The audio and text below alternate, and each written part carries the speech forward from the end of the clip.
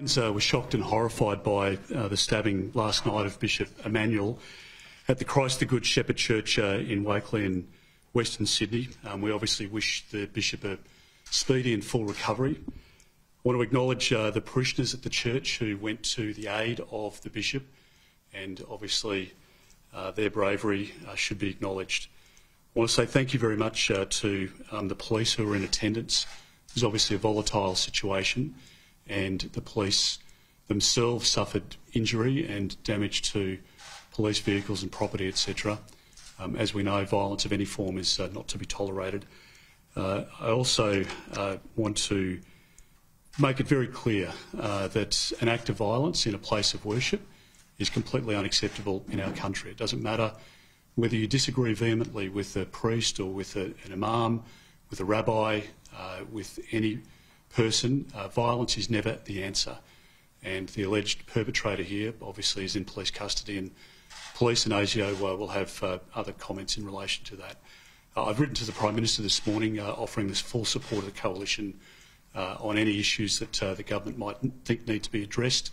In the aftermath of the tragedy that we saw in Bondi, that we've seen in Western Sydney last night, I have also asked for a briefing from the Director General of ASIO and the Australian Federal Police Commissioner uh, in relation to these matters and the current threat level uh, as it uh, currently operates in Australia. we should also send our thoughts and prayers again to those in, who are still in hospital, some in the intensive care unit off the back of the horrible, horrible circumstances at Bondi on the weekend. Uh, we wish all of those people uh, a speedy recovery as well. Uh, the trauma of those families who have lost loved ones uh, is something that we just can't contemplate, and I want to make sure that uh, every assistance is provided to them as, uh, as I know it is.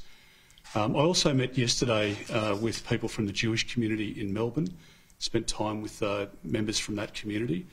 We know that the incidence of anti-Semitism in our country is up over 700%, and that those community members are really feeling fearful in their own communities. These, these are Australian citizens. We've got armed guards at synagogues. People are worried about congregating at uh, places of worship and uh, at supermarkets, etc. Um, so it's a volatile period, and you can understand the anxiety that Australians will be feeling, uh, particularly trying to explain what's happening in our country in the last week uh, to young children. Uh, what we know is that uh, Australia is a peaceful country. we've never had civil conflict as part of our history, and we don't want it part of our present or our future. Uh, people come from all parts of the world to our country, and we've been uh, an incredible success story. And if people have differences, uh, if they have differences of opinion, uh, if they agree, disagree or agree with people, uh, it needs to be done in a respectful way. And we need to remind ourselves of that. I want to acknowledge the leaders uh, within the community who have stood up and called for calm, particularly from younger people. and that is a very important message for those younger people to heed.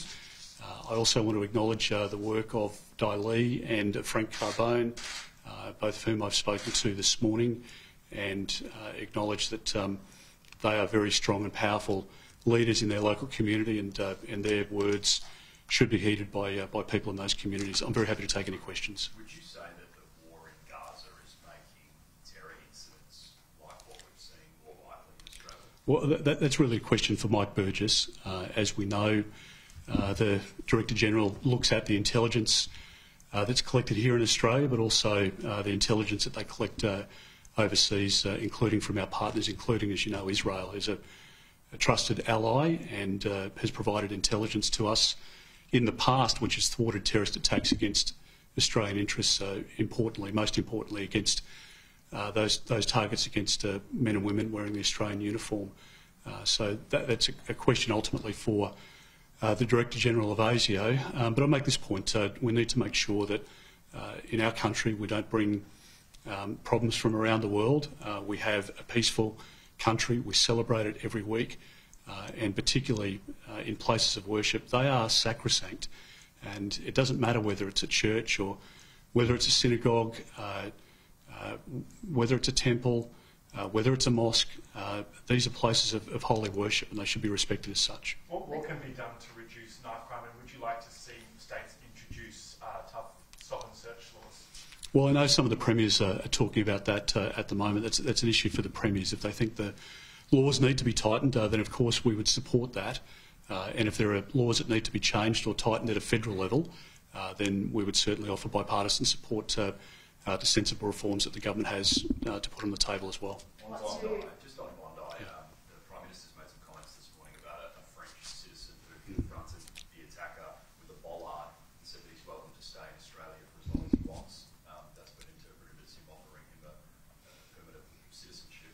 Is that something, is that how you interpret it? Yeah, look, I, I'd, I'd support uh, I support the Prime Minister's uh, uh, generous offer, and uh, look, we we are an incredible success story, and uh, we shouldn't be afraid of wanting people to come to our country who are the best uh, the best people. And when you look at those images of uh, that young tourist or young French citizen standing at the top of the escalator with the bollard, uh, putting his own life at risk to protect others, uh, he, he embodies the the Anzac spirit, and we would want people of that character in our country. So uh, I think it's a good good call by the PM, and very happy to support it.